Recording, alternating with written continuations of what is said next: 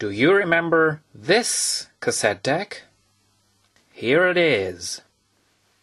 The transformer is really loud.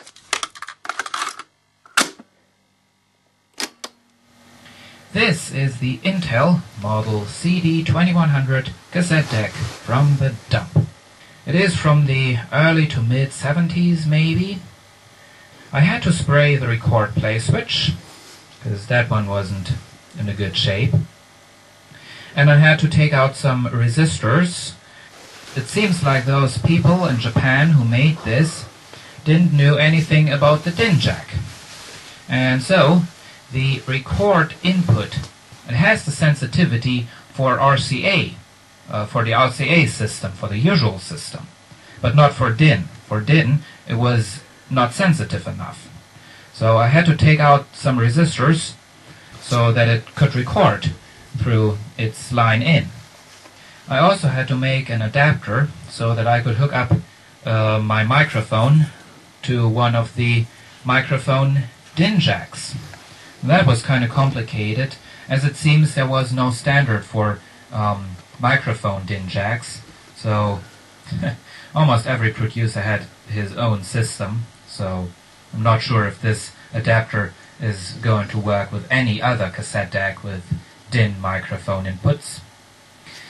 But anyway, let's take a look at the features this cassette deck has, and that's going to be really quick because it does not have much features. We have the usual buttons for the mechanism, record, rewind, fast forward, uh, play, stop, eject, and pause. Next along we have two level regulators. That's a weird setup. They are regulating the level during playback and during record. So right now they are on maximum so that you can hear me and during record you have to set them different. Here it says stereo that's probably the only uh, great feature this has. Here are three switches. One of them, of course, is the power switch. We have a hiss filter, which is only working during playback. It just cuts off the treble, so it's kind of useless. This cassette deck does not have Dolby, but it has a tape selector for standard and chrome cassettes. And talking about cassettes, this cassette deck really doesn't like all cassettes. When I first tested the cassette deck, I put in a really good Maxell XL2S cassette. Really good cassette from the 90s. And this cassette deck ate the cassette for dinner. So, um, right now I'm using a much cheaper standard type cassette.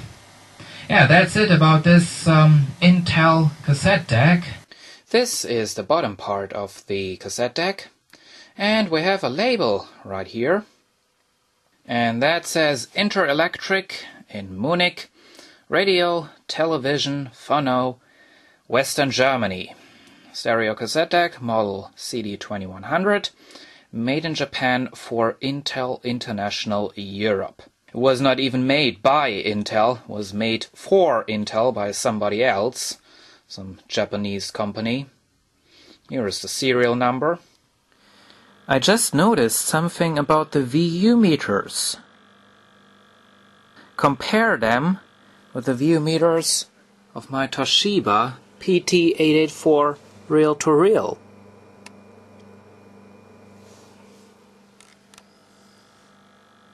Oh yes, they are exactly the same except for that um, bias check thing right there.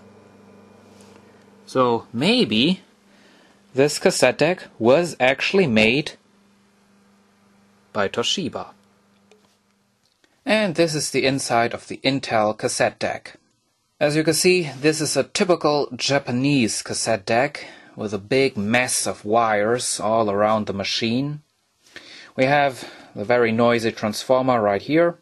Here is the power supply circuit board, which contains the rectifier, and this pretty small filter capacitor.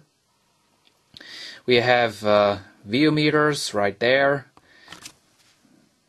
And here are the three switches, power switch, tape selector, hiss filter. Here are the two slider controls. As you can see, this cassette deck has been prepared for being something, well, something better. So you can see there are additional holes for mounting uh, more slider controls. And down here are also some more holes. I think these two holes may have been for usual microphone jacks, not the DIN jacks, which are right there. This may have been a hole for a headphone jack.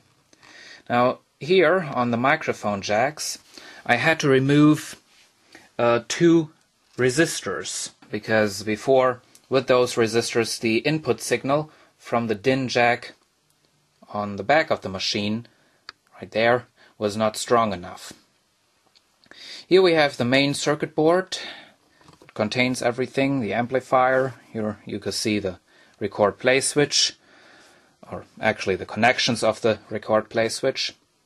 The mechanism is nothing special. It is a pretty high quality construction using some nice thick metal, has a nice big flywheel, but aside of that, it really isn't something special. You can see up there is the motor. The original belts are all still good, which is really nice. And that's basically it. That's the inside of the Intel cassette deck.